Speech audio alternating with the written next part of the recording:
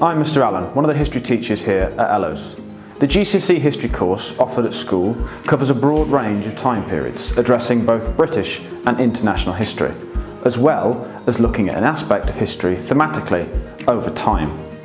With this in mind, the GCSE history course is taught in four topic areas.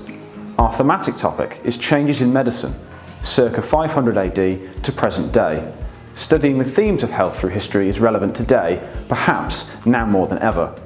Our medieval topic is the Crusades, 1095 to 1149, where we look at the importance of fighting over the Holy Land almost a thousand years ago and how that changed Europe to this day.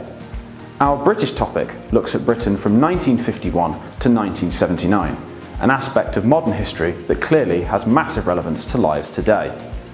Lastly, our international topic is focused on the development of Germany from 1919 to 1991, a period of great tragedy and change that is always a favourite amongst students.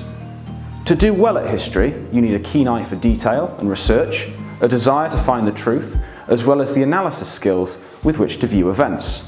Historians must be able to view events critically, using a wide range of sources of information. Being able to spot lies, over-exaggerations, is a key in, help, in helping see the big picture of history. As for assessments, these are all done through examination, one exam paper per topic studied, with each paper having equal weighting toward a final grade. These exams range from 45 minutes to 75 minute assessments, with questions varying from 9 to 19 marks. Spelling, punctuation and grammar are also taken into consideration within one question per paper. Our expectations for Key Stage 4 history students are as follows.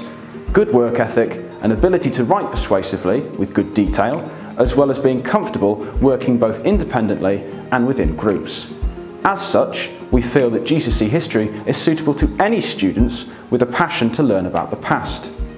As a traditional subject, history is looked at well by colleges, training centres and higher forms of education, as it shows an academic mindset as well as the ability to make informed, evidence-based decisions. As such, GCSE history leads well into A-level, degrees, masters, PhDs and beyond. As such, any and all career avenues are helped with a GCSE in history, due to the research and analytical skills you will develop from this course. You will be surprised just how many famous and successful people all started their journeys with a degree in history, from which a GCSE history course is the first step.